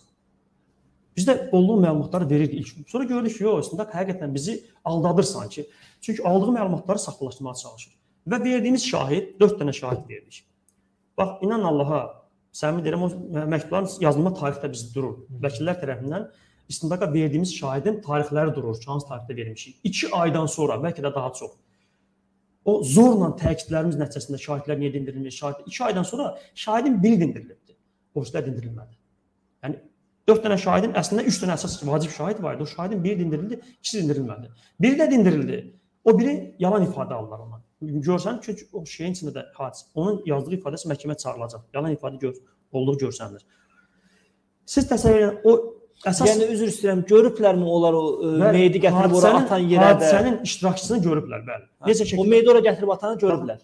orada mən əslində məhkəmə Maraqlı deyil, indən danışmaq istəmirəm mən. Elə bütün hamısı sirlərin hamısı orada bilinir də bəy. Tamamilə bilinir. Siz təsəvvür edin, həmin şahidin verdiyi ifadəni belə araşdırma və həmin şahidin bir dənə dindirirlər, heç bir sualsız dindiriblər. Biz görürük, yəni dindirmək xəttinə biz axı bizə deyirlər kömək eləyin, biz də kömək eləyirik, göz verirdik. Şahidlər dindirmirlər, məzuniyyətdən dindirirlər, heç bir sualsız dindiriblər. Elə belə bir yüngül suallar verdilər işə aid olmayan və həmin şahidin ifadələrini də bilmək olur ki, oradan da bilmək olur cinayətkar kimdir. Və ondan sonra o o şahidin ifadəsini atdılar, dindir, araşdırmadılar. Məhkəmədə də üstün açmırlar. İndi açıqlar əlbəttə ki, onun şahid kimi gəl dindirilməyib. Biz vəsatət vermiş həmin adam şahid kimi dindirilsin. O şahidlər də məhkəmədə e, prokurorluq tərəfindən əsas şahidlərin içinə salınmayıbdı. Biz artıq ona görə vəsatət veririk, həmin şahidlər dindirilsin. Çünki həmin şahidlərin gördüklərini alıb zaten istintaq bunun ifadəsinin birini alıb. O birində göstərilib ki, doğrudan hadisə istintaqın apardığı kimi yox, başqa istiqamətdə olubdu. Elə olduğu halda yaxşı şahidin ifadəsi niyə araşdırılmır? Belə çıxır ki, belə eləyir. Heç ən azından ən azından araşdırılır ki, ya bu şahid səhv ifadə verib, sən niyə səhv ifadə verirsən? Əgər bu şahid onu araşdırmayıblarsa, qorxublar artıq. Bu şahid o bu şahidləri dindirmədilər. Bax bu da bir saxtalıq. Başqa bir saxtalıqla bağlı sizə o qədər hadisələrlə başqa bir saxtalıq deyim. Qızın meyidi tapılan günün sabahsı günü. Saat 12 radələrində meyid ekspertisə götürülür və oradan hər şey götürülür. Bütün detallara kimi, torpağa kimi bir gün istintaq materiallarının içində oxuyuruq, yəni ekspertisə hər bir detal götürülüb, hər bir detal. Və orada şahidlər, hal şahidlər deyir ki, biz 5-6 dənə spişka dənəsi gördük. 5-6 dənə spişka dənəsi var idi. Hadisə yeri. Hadisə yerində bəli. Və ilkin də siqaret icazətindən çəkir, yan, yan, yandıranla çəkir, yanır. Belə çıxır ki, və istintaq materialının içində oxuyuruq ki, o dənələrin heç biri yox, artıq yoxdur və bir dənə dənə elə belə dənə kimi bir dənə təsadüfi tapılmış dənə kimi qeyd olunub orada. Niyə axı 5-6 dənə itirirlər orada? Səbəb nədir? Başqa bir fakt deyim sizə. Demək, istintaqa götürülən anda, şey, ekspertiya götürüldüyü anda, meyit götürüldükdən dərhal sonra polis rəisi Hə, o atasına tapşırıb ki, oranı Bəli. qazsın. Onun səs yazısı da bizdə var. Qasa bilməzlər. Zaten o bildilər ki, biz bunu bildik və səs yazısı da var. Onu sonra necə saxtalaşdırdılar? Amma o da əsas deyil.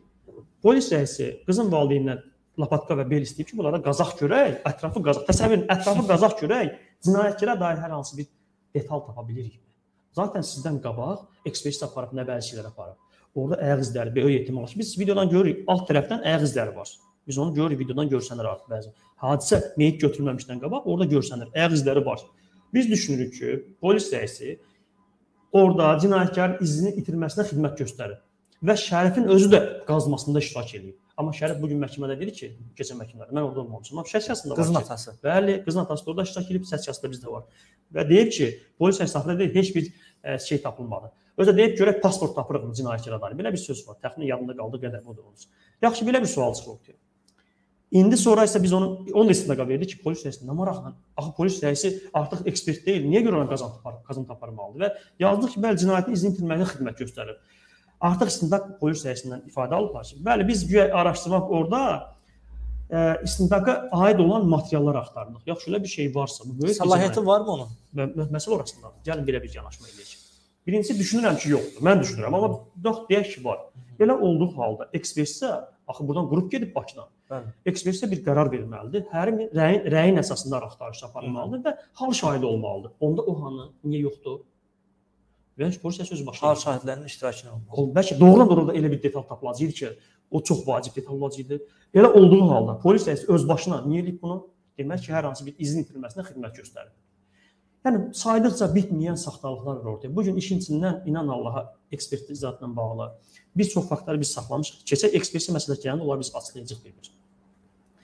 O qədər saxta ifadələr var, o qədər saxta ifadələr, o qədər saxtalıq var ki, da saymaqla bitmir. E, ilkinin əleyhinə olan üzr istəyirəm, e, ifadələr, şahidlər, hal şahidləri, belə deyək də, el dilində desək, üzünə duruzulan adamlar varmı? Varsa Yəni. kimlərdilər? Tamamilə haqlısınız. Ha. Yəni sübut kimi orasında ətraflı deyim, sübut kimi götürülüb. Bunlar ilkini hansı sübutlarla həbs edildi, belə deyək bu. Bəli. Sən həbsin bir də hal şahidləri, güya şahidlər deyil. Şahidlər kimlərdir? Polis şöbəsində 2-dən 3-4 dənə polisdən ifadə alıblar, güya bu cinayəti ilkin eləyib. Bir də ki, türmədə ilkinin, yəni Kürdaxanın həbsxanasında yatdığı dövrdə 4-5 nəfər adam olub ki, onun dövründə onun ikisi deyib ki, ilkin deyir ki, bu cinayəti mən eləmişəm. Təsəvvür edin burada da bir saxtalıq çıxır ortaya. Orada 4-5 nəfər olub, 2 nəfər ifadəsi verib ki, ilkin bizə ümumiyyətlə bu şey eşitməmişik bu şey. İlkindən bu belə şey eşitməmişik. Eyni kamerada. Eyni kamerada olublar. Və digər 2 nəfər isə istintaq dövrü də üzləşdirmə olub, istintaq dövründə. Təsəvvür edin yanvar ayında ilkin tutulub. O şahidlərin hal hansı ki türmədəki şahidlərin biri mart ayında yerini dəyişdirib başqa yerə köçürülüb və biri də axır dekabra kimi qalıb orada. Dekabr ayında artıq istintaq yekunlaşmalıdır. Əldə heç bir sübutlar yoxdur. Və dekabr ayında necə olursa təsadüfən olur və təsəvvür edin bu məntiqə çıxan bir şeydir. Mart ayında gedən də və yan onun ilkin yanında qalan da necə olursa bir-birindən xəbərsiz o e, istintaqa müraciət edir ki, bəs siz bizə bizim sizə sözünüz var, ilkin deyə bu cinayəti mən törətmişəm, mən eşitmişəm. Təsəvvür edin. Ne yaxşı orada bir sual çıxır ortaya. Oradan sual verirlər hər ikisinə. Sizin ikinizin yanında mı olub? Deyir, yox, ayrı-ayrı bizə deyir. Bunlar ikisi də üzləşmir. Deyir ki, ikisi də ayrı-ayrı olub bunların ikisi də. Yaxşı, birə bir sual çıxır. Ayrı-ayrı deyibsə, mart ayında ayrılan, oradan kameradan çıxan adam, ümumiyyətlə ayrılan adam, niyə mart ayında demir, dekabr ayında deyirdi? Necə olur bunların ikisi də təsadüfən gəlib dekabr ayının üstə düşür? Ayrıca bir fakt. Eyni vaxtda müraciət Eyni vaxtda istintaqa. necə olur dekabr ayında? Üçüncü bir fakt. Aktyorlar inanın ki, elə bir ya burada doğrudan da mütəxəssis olaraq mən düşünürəm istintaq aparanlar ya bunu bilmirəm, bilməyib. Amma mən düşünürəm bilməyib yox. Sadəcə onlar ilkinin günahsız olduğunu bilərəkdən sadəcə canını qurtarmaq üçün məcburiyyətdən tapşırıq gəlib cinayət işini bu şəkildə araşdırdılar. Üçüncü bir, bir başqa bir fakt. İlkin özü deyir ki, onlara deyib istintaq dövründə sən faktiki olaraq mart ayında, güya ilkin bunlara yanvar ayı deyib, yanvar fevral ayı deyib. Mart ayında televiziyaya baxarkən, orada televizor baxarkən, orada Altay Əkbər adamlar kənd sakini, kənd sakini olub deyiblər ki, orada bir ara çıxdı ki, bu cinayəti Altay Əkbər tərəfindən törədilib. Belə bir şeyli ayımı O kimdir? Kənd sakinidir. Orada elə bir söhbət çıxarkən sən özün mənə dedinmi ki, bax görürsən gəldim çiynimə vurun dedim möhkəm ol, yaxşı olacaq. Görürsən əsl qatil tapılır. Yaxşı mən sənə bunu yanvar ayında demişdimsə, mart ayında sən bunu mənə niyə deyirdin? Əgər doğru mən sənə demişdimsə cinayət mən eləmişəm. Onda sən mənə nə deyirdin ki, mart ayında aradan 2 ay keçəndən sonra narahat olma, möhkəm ol. Demək ki, saxtalıq var. Bəli. Demək ki, burada üzə durma var. O adamların da hansı cinayət işlə tutulmaları məlumdur, artıq mən istəmirəm açıb deyəm. Onlar da hal şahidi kimi çıxarılacaq və başqa türmədə yatda orada başqa 2 nəfərin ifadə alıb. Hətta təsəvvür edin necə olur ki, o birisləri artıq məcbur elə bilmirlər. Böyük ehtimalla də məcbur elə müraciət edin bilmirlər. ki, o digər iki nəfər də gəlsin də. Tamamilə O haqlısınız. Tamamilə haqlısınız. Tamamilə haqlısınız. Birincisi buradan məntiqlə düşünəndə, sadəcə normal düşünəndə buradan elə sual cavab ortaya çıxır. Yanvar ayında demişsə, niyə dekabr ayına gözləyirdin?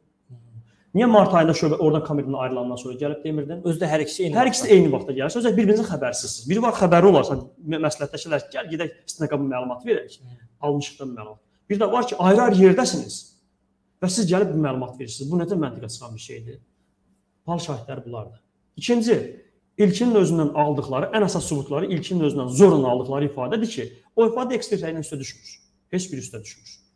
Zaten ilkindən alıblar ki, daş o daş belə amma daşla vurulub, bir dənə daşla vurulub, bir də vurulub və aparılıb həmin gün də öldürüb yandırıb. Amma ekspert deyir ki, 3-4 gün qabaq başına dəyən kəsici və deşici alətlərin nəticəsində öldürüb. Və necə olur? Daşın taleyi hanı? Yaxşı, istintaq dövründə belə bir söz deyim də, biz də televiziyadan baxırıq cinayətlər araşdırır. İstintaq dövründə o daşın taleyi haqqında məlumat ən azından daş tapılmadı. Hani o daş? Daş haqqında hanı? Yəni bunlar bir istintaqın elə aparılıb ki, yəni başdan sorğu olaraq sanki elə bir tezbaza bağlayıb bir üstə qoyacaq da rahat işi bağlayıb gedəcək də. Yəni o qədər içəridə saxtalıq var bu cinayətin başqaları tərəfindən törədilməsinə dair. Bu cinayətin ilkin tərəfindən törədilməməsinə dair o qədər faktlar var ki, heç bu cinayətin ilkindən heç əlaqəsi yoxdur. Ayrıca ilkin 6 yanvar günü meyit tapılan günü kənd sakinləri 12 10-12 nəfər adamla Gəncə şəhərində yas yerində olub, nöqtə saat söyləməz. Gəncə şəhərində yas yerində olub. Bunların hamısı ilkin Nərmin itdiyi dövrdə toyda olub siyahı yazıb. Hətta biz aldığımız məlumatlara görə İMEN altısına salınması üçün polis təşkilatı göz, göz, gözləyib onu. Niyə ora indi onun dediyi araşdıraq görək nə üçün 2 gün gözləyib onu? Yəni şizofreniya onu əvvəl də eləyə bilərdi. Niyə altısına salıb onu? O da şizofreniyasının bir planı olub deyirlər. İndi bilmirik nə plan olub, amma deyilənə görə altısına saldığı üçün 5-i 4 ola bilərdi. Altısına saldığı da bir plan olub onun üçün. E, Adil bəy, təşəkkür edirəm sizə. Mən e, istəyirdim bir məqama da diqqət çəkək. Siz e, bir məhkəmələrin e, birində müsahibənizdə bildirmişdiniz ki, biz qatilin kimliyi haqqında kimliyi bizə məlumdur və biz bu barədə məlumat da vermişik. Mən əlbəttə e, bilirəm ki, siz bunu e, açıqlamayacaqsınız, amma heç olmasa izləyicilərimiz üçün də və necə deyirlər, dövlət orqanlarının, dövlətin zirvəsinin də bəzi məqamları eşitməyindən ötəri ki, bəzi işarələri deyəsiz heç olmasa. Mən sizə bir məsələni deyim. Bəli, biz vaxtilə bu məsələni bir çox orqanlara da yazdıq. Mən əminəm ilkinin həbs olunmamasının bu günə qədər məsələn bu qədər uzun olmasında da bəzi orqanların dəstəyi var. Bunu mən inanıram, çünki bəzi xüsusi orqanların dəstəyi ola bilər düşünürəm. Çünki doğrudan sübut fakt istəyirlər onlarda. Bu sübut fakt istəyirlər. Yəni bununla bağlı biz məlumat ötürmüşük. Bəli, bu gün də dəfələrlə biz baş prokurorluğa da vaxtı məlumat yazdıq. Bununla bağlı şəxsən bizi qəbul eləyin, çünki verdiyimiz məlumatlar saxtalaşdırılır. Bizi qəbul eləyin, biz sizə əlimizdəki faktları deyək. Çox təəssüflər olsun biz qəbul olunmadıq baş prokuror. Şəxsən öz tərəfindən qəbul olunmadıq. İstəyirik məlumatları verək və əlimizdə olan faktları, sübutları deyək, araşdırılsın. Biz bu gün bu gün bununla bağlı biz əlbəttə ki, siz haqlısınız. Bununla bağlı məlumat bu gün verməyəcək çünki istintaq dövründə artıq məhkəmə dövründə bununla bağlı açıqlamalarımız olacaq. İnanıram ki, heç buna ehtiyac olmayacaq. Artıq bunu gedib Əgər Allah eləməsin, əgər ilkinə saxta hökm oxunsa, bu bu işi ona elədiyin məhkəmə də təsdiq eləsə istintaq kimi, bunu açıqlayacaqmı? Açıqlayacaqsınız. Faktları artıq ortaya qoyacaq. Bəli, bütün faktları heç yoxdur. Elə bir şey olar ki, yəni biz artıq dediyimiz kimi bu məsələyə biz bu yola çıxmışıq. Biz bildiyimiz bir dənə həqiqət var ki, haqq uğrunda, ədalət uğrunda mübarizəmizi aparırıq biz də Allaha təvəkkül edib, Allaha güvənib, ona etimadımızı göstərib və Allahdan güc və qüvvət istəyirik bunun sonuna qədər bu üzərimizdə ilkinə saxtalıqla e, ona quyu qazanların özləri bu quyuya düşsün və bunun üzərində bizim qələbə salmamıza Allah bizə dəstək və yardımcı olsun. Və inanırıq ki, belə də olacaq inşallah. Əlbəttə ki, bu faktların hamısını yenə deyirəm, məsələ bura bilirsiniz təbii müəllim. Burada e, bizim işimiz deyil əsl cinayətkarı tapmaq. Bu artıq istintaq orqanının işidir hansı ki iş saxtalaşdırıb orta dəfələrlə bu işin asılmasına maraq göstərməyib. Bəli. Amma əlbəttə ki, biz bu gün isilçinin günahsızlığı ilə bağlı cinayətin başqaları tərəfindən törədilməsinə dair dəfələrlə faktlar qoymuşuq. Dəfələrlə qoyuruq və qoyacağıq da. Bu gün hadisələr onu göstərəcək. Yəni gələcək şahidləri də bunun çox şey yoxdur. Özü zaten çıxacaq bizə. Yəni bununla bağlı çox ümid ümid edirəm ki, mən bu bizim də sizin vasitənizlə hüquq müdafiəçiləri sağ olsun, dəstək olurlar, Allah razı olsun onlardan. Ümumiyyətlə Azərbaycan Respublikasının əhalisi, xalqı sağ olsun ki, bununla bağlı öz fikirlərini daim olaraq bildirirlər. Haqqın, ədalətin yanındadılar. Peyğəmbərimiz sallallahu əleyhi və səlləm də deyib, dinimiz də deyir ki, zülmə qarşı, haqsız zülmə qarşı susmayın, gücünüz çatan qədər müdaxilə eləyin. Əgər ən azından gücünüz çatmırsa, ürəyinizdə belə ona etiraz edin. Mən də ürəyində belə Allaha dua edib bu cinayətin doğru dürüst açılmasını Allahdan diləyən insanlara təşəkkür edirəm. Allah onlardan razı olsun. Əminəm ki, bu cinayətin doğru dürüst açılacaq. Çünki zaten açılıbdır. Yəni belə deyim, bu gün doğrudan da həqiqətən bizim hüquqi təhsilimiz yox. İstintaq heç bir zaman istintaq prosesi də aparmamışıq. Amma sadə dillə sizin sadaladığınız faktları göz önünə gətirəndə adam bir burada bir... ən azı qatilin kimliyi barəsində e, məlumat, e, yəni təsəvvürümüz yaranmasa belə 100% bilinir ki, Hər şey burada şey ilkinin e, günahsızlığı yəni bu gün üzr istəyirəm, bu gün təsəvvür edin doğrudan da bu cinayətin asılma, doğru dürüst asılması üçün araşdırılsa, inanın Allaha mən sizə deyim, sadəcə müəyyən bir saatlar vaxt lazımdır ki, bu cinayətin doğru dürüst asılsın. Çünki zaten dediyim sadaların məsələlərini hamısını dəfələrlə demişik biz. Bu faktı elə video kamerada gö gö göstərdiyim polis rəisinin hücumla bağlı təxribat kimi bizim adımızın təxribata çıxarılması və ondan sonra prokurorluğa da böyük ehtimal ki, Daxili İşlər Nazirinə prokurorluğa məlumat ötürüb ki, bizdə belə bir hadisə baş verir. Çünki bizə artıq Təsirat da salmaq istəyir. Və ondan sonra 2 saat sonra bizim evimizdə hücum olmasını göstərən fakt özü göstərir ki, polis əslində birbaşa marağı var. Birbaşa marağı var. Adil bəy, siz bir dəfə məhkəmə prosesində e, bir məqamda açıqlamışdınız. Bildirmişdiniz ki, e, ilkinin niyə sizə sual vermişlər ki, niyə məhz ilkin? Siz demişdiniz ki, bu bizim bu barədə faktlarımız var. Kətdən olan bir adamı istiqamət vermişdiniz. Bu Bəli, barədə və niyə görə kətdə olan sadə bir adamı ölkənin baş prokuroru Zakir Qaralov, ondan sonra Tovuzun polis rəisi Şirzad, daha sonra Zakir Qaralov gedib hal-hazırda da Kamran Əliyev gəlib. Hal-hazırda hazırki baş prokuror da Zakir Qaralovun işini davam elətdirir. Bu adam kimdir, Məsələn. nədir? Niyə sualınıza belə bir cavab verim? Buyurun. Verdiyimiz faktların araşdırılmaması zaten bunu göstərir. Niyəsi göstərir ki, maraqları yoxdur. Burada çünki elə bayaq dediyim sadaladan Zakir Qalavun elədiyi saxtalıq özü böyük bir saxtalıqdır. Demək Zakir Qalov özü də bura maraqlıdır. Ya şəxsin özünün xəbəri var cinayətdən, ya da kimlər tərəfindənsə doğru nəsə hansı maraqlarına görəsə sifariş alıbdı. Digər tərəfdən, bəli, bununla bağlı, niyə məhz ilkindən bağlı? İlkinin parametrləri onlara uyğun gəlir və ayrıca bizim aldığımız məlumatlar da var ki, buradan bəli polis rəisini şəxsən kənd sakinlərindən bir nəfər istiqamətləndirib. Doğru dürüst şəkildə sanki bir Düşmənçilik mi olub bu adamın ilkindən nə vaxtsa və yaxud da nəsə aralarında bir necə deyirlər, anlaşılmamazlıq olub? Bəlkə bizimlə bağlı yəni deyirsiniz. yox, ilkindən bağlı ola bilər. Yox, şəxsən ilkindən bağlı heç kim düşmənçilik yoxdur. Ümumiyyətlə ilkin Amma sizinlə bağlı var, ümumi ailə ilə bağlı. Yox, ümumiyyətlə sağ olsun onun gələcək məqamlarda ciddi şəkildə açılacaq. İndi onu da biz sübutlarla, faktlarla ortaya qoyacağıq. Hələ ki o barədə tezdir. Ümid edirəm ki, yenə deyirəm, bizə maraqlı olan ilkinin bu cinayət törətməməsinə dair faktları ortaya qoymaqdır və bu cinayətin ilkin törətmədiyini qoymaqdır. Cinayətin əsl cinayətin kimlər tərəfindən törədilməsinə dair artıq bunu biz araşdırmalı deyilik. Bunun üçün ki, məsul şəxslər var, onlar araşdırmalıdır. Amma hə, bəli, polis rəisinin, polis rəisi şəxsən ilkini tanımırdı. İlkin hardan tanısın ki? Kənd sakini idi. Zaten doğrudan da belə deyim də, ə, ilk vaxtlar yadınıza düşürsə ilkinin psixoloji problemlərlə bağlı məlumatlar yaymaq istədilər. Çox yerdə ilkin çünki yadınıza düşür Zarun verisində bu söhbət çıxdı, başqa verislərdə bu çıxdı. Sonra deyəcəklər manyakın biri eləyib xəstə adam deyəcək belə bir ifadə alır. Belə bir ortaya belə bir rəqam çıxaracaqlar. Siz özünüz düşünün də bir ümumiyyətlə meyidin bu hala düşməsinin kim eləyə bilər? Ya həqiqətən də xəstə adam eləyə bilər, ya da bu xəstə adam düşüncəsi yaratmaq istəyən bir planlı şəkildə bir insan eləyə bilər. Çünki cinayətin motivi yoxdur. Canı eləyə bilər. Bəli, can, əslində ca, bəli, tam canidir. Hər bir halda canidir. Amma bunu kim bu hala? Orta təcavüz faktı yox deyirlər. Heç bir fakt e, orqan alveri yox deyirlər. Çünki orqan istintaq materiallarının içində də göstərilib ki, daxili orqanlar yerindədir, elə göstərilib.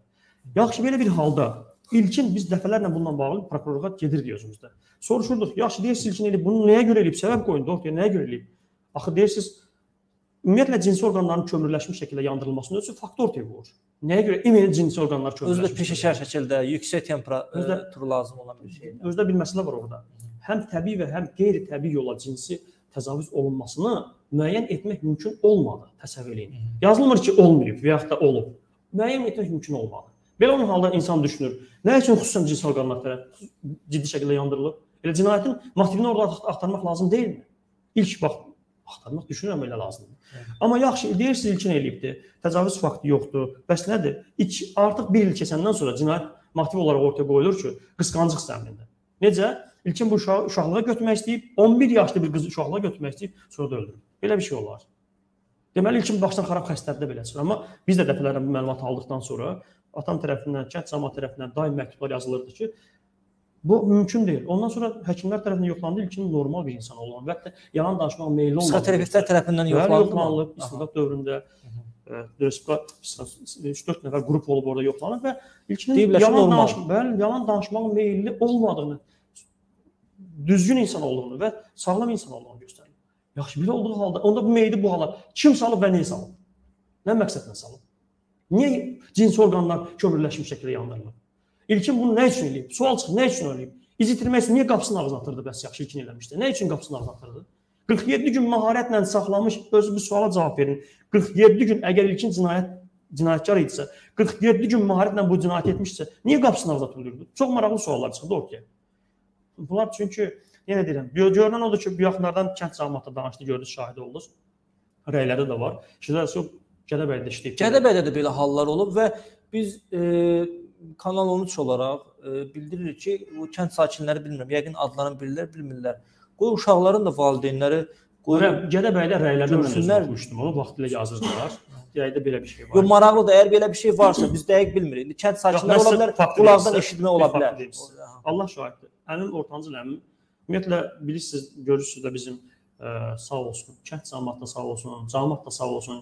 Nəsil olaraq da əlhəmdülillah, həmd olsun Allaha. Hər biri siz təsəvvür görünən tərəfdə bizik. Allah şahiddir ki, arxada hər biri dərdən qabıqdan çıxır, bütün nəsil üzvləri. Allah onlardan razı olsun. Böyüyündən tutmuş ta ki kiçiyinə qədər hər biri bu məsələdə o qədər aktiv və o qədər ortaya bizim mənim danışdıqlarımın, danışlarımın İnanın ki, mən çoxunu mən heç tapmamışam istinad materiallarını. Hamısı qohum əqrəbə oxuyub və içində faktlar tapıb bizə məlumat verirlər ki, bax belə məlumatlar var. Təsəvvür edin fədakarlığı çox əlbəttə ki, bu da normal haldır. Sağ olsun, onlar da sağ olsun. Əmmə ortancıl əmmə də şəxsən polis rəisi tərəfindən ilk vaxtlar təzyiq olunurdu ki, sən çəkil bu işdən çəkil də müdafiə eləmə. Özün bilərsən, yəni bu ilkin eləyib də sənə nə dəxli var? Sən əmsisən, sənə nə dəxli var?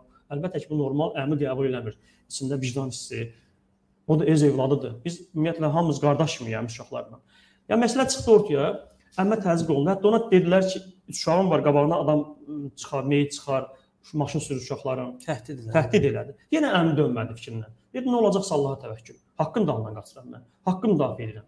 İl- Hələ də ki illahda öz qohumum, öz qardaşım oğlu O olsun. təhdidləri konkret olaraq hansı şəxslər ediblər? Əmə mən şəxsən əmmə deyiləm. şəxsən kim əmmə. tərəfindən Polis də Şizad Əsirov tərəfindən şəxsən aha. Sonra isə deyib ki, Həs ilkin ilkindir. Mən sənə deyirəm çünki Gədəbəydə mən işlədiyim vaxt əmmə deyilib. Belə bir hadisə olub və cinayəti boynuna aldı, sonra da özünü astırdırdı. Təsəvvür edin. Bunu əmmə deyib. Zorla bu biz onun özü deyil, zorla boynuna qoyduq. Allahın olsun belə deyir, xatırladım qədər.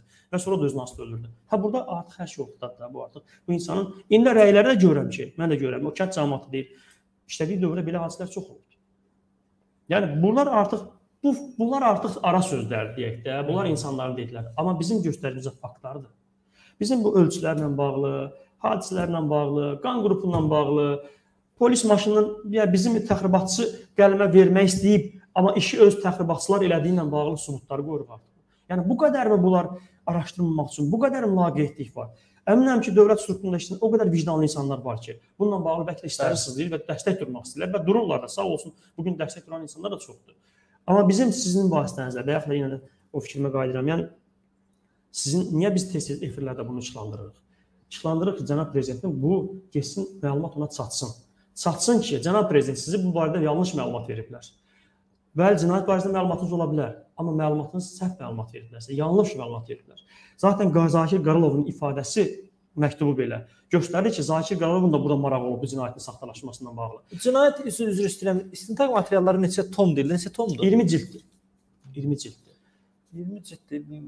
Özü də Özü bilmirəm hər bir ciddi- mənə elə gəlir ki, Təsəvvür edin ki, hər onu oxumaq üçün çox ciddi mən özüm axı yenə deyirəm, sağ olsun qohum əqrəbamız hamısı oxuyub bununla bağlı bizə məlumatlar verirlər. Hər biri ayrı-ayrı oxuyur. Təsəvvür edin biz hər bir ayrı-ayrı müzakirə edirlər bununla bağlı. Bir məsələlər, saxtalıqlar daha çoxdur. Bir saxtalığın birini də sizə deyim. buyurun. Ayın 8 yanvar günü ilkin alçına tutulmasından faktından bağlı burasını deyim sizə. Təsəvvür edin. Vaxtilə ə, cənab prezidentimizə 600 nəfər, sonra 1500 nəfər şəxsi vəsiqəsinin ə, seriyasından məktub yazdılar ki, ilkin bu cinayət törətməsinə dair, törətməməsinə dair və bunun cinayətkar olunmasına dair, öz uşaqlarını küçəyə buraxmasından qorxularına dair məktublar yazdılar. Müraciətlə ki, yəni ilkin günahkar deyil, bu mövzuda bir məktub yazdılar. Çox təəssüflər olsun ki, bu məktub inanıram ki, prezident çatdırılmayıbdı. Mən inanıram çatdırılmayıb. Çatdırılsaydı əlbəttə ki, 1500 kənd cəmiyyətinin şəxsiyyət vəsiqəsinin seriyasından bağlı 1500 nəfər az adam deyil. Bu ciddi məsələdir. Buna reaksiya verilmədi, araşdırılma aparıldı deyil. Bir rayonun bir bir bir, bir 1500 kəndin demək olar ki, bir ölkənin başçısına müraciət edir. müraciəti bəli. İnanıram Nə dərəcədə inandırıcıdır? ki? inandırıcıdır ki, çatmayıbdı. Ola bilməz ki, cənab prezident çatdırılsın.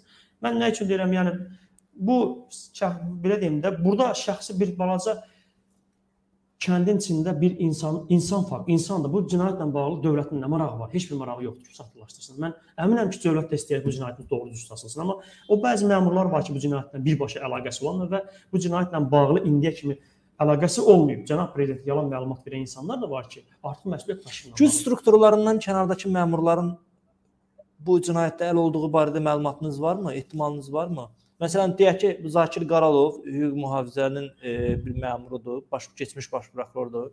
Şirzad Daxili İşlər Nazirliyinin Tovuz rayonundakı rəisidir. Başqa üzr istəyirəm, başqa məmurlar haqqında məlumatınız var mı yüksək çinli məmurlardan? Baxın, düşünürəm ki, əgər bu məktubumuz belə bu cür bu məsələyə belə yanaşaq da. Çünki mən sizin dediklərinizdən onu sezdim ki, sanki bir kənarda da başqa ki, məmur var. Mən onu sezdim. Bəli, tam haqlısınız. Düşünürük ki, tutaq ki, lap indi hal-hazırda Zakir Qərlov da yoxdur, tutaq ki, məktublar yazılır. Ə, polis rəisi də işdən çıxarılıb. Amma məktubla bağlı axı oğlan işləyir dövrdə məktuba oxucular nəzarət eləmir. Deməli kimlərsə bu işə nəzarət edir. Əlahtar nəzarət edən insanlar var ki, siz düşünün. 1500 kənd cəmiyyətinin məktubuna prezident laqeyd qalardı. İnanmıram qalardı. Mən inanmıram qalardı. Dərhal reaksiya edərdi. Ayrıca bir fakt deyim sizə. İlkin deyirlər altına tutulub. Amma kənd cəmiyyəti artıq sakit dayana bilmir. Bütün kənd cəmiyyəti təxminən bir xeyli insanda 300-400 nəfərə yaxın. O da yenə də öz müraciətlərindən bağlı böyük ə, güc strukturuna, yəni dövlət başçısına da məktub yazıb cənab prezidentə. İlkin gözümüzün qabağında altına tutulub aparılıb. Yalan danışır istintaq. Axı bizim gözümüzün qabağında atılıb buraxılmıyor. Bax, niyə istintaq deyir ondan atılıb axı? Deməli bizim gözümüzün qabağında olan hadisəni istintaq yalan bizi yalan danışmağa rahat şəkildə təzyiq göstərirsə, görün gözümüzün qabağında olmayan məsələlərlə bağlı hansı təzyiqlər gedir. Digər fakt. Deyilənə görə həmin dövrlərdə güya bütün kənd Nərmin ikinci ölçü dövrdə kənd yoxlanılıb, amma şəxsən bizim ev və əmim evi yoxlanmayıb. Buna da mənim əmim oğlu polis imkan vermir ki, yoxlanmasın. Ha bu gün məhkəmə dövründə mə- məlum olur ki, öz qohumlara deyir, belə bir şey olmayıbdı. Belə bir şey olmayıb. İndi kənd cəmiyyəti bu başqa bir fakt. Kənd cəmiyyəti yenə içi yanır. Bizim ətrafda bir 30 evə yaxın məktub yazır cənab prezidentə ki və onun yüz tutuldular ki, bizim evimiz Nərmin itkin düşdüyü dövrdən tapılan dövrə qədər evimiz heç bir yoxlamalar aparılmayıb. Niyə yalan danışırlar? Yaxşı başqa bir sual deyim. Baxın, gəlin başqa bax mən qohum kimi danışmıram, qıraqdan bir insan kimi yanaşıram. Yaxşı, bunu ilkin eləmiş olsaydı, polis rəisi özü məsuliyyət daşımırmı?